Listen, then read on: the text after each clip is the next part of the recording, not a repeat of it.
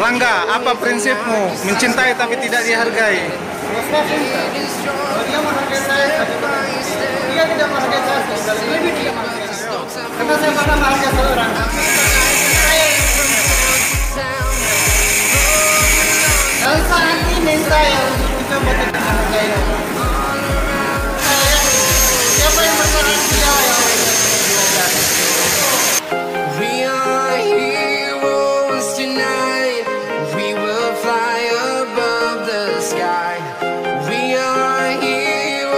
promised you now.